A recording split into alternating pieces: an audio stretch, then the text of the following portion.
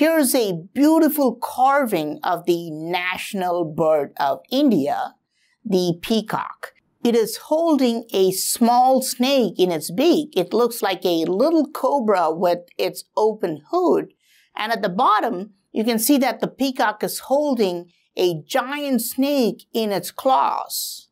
The snake looks quite distressed and look how its tail is going into the body of the peacock, making it oddly appear like the peacock's tail but the peacock's actual tail feathers are shown at the top with a lot of details. You can even see the tiny feathers on its head, and this is called a crest.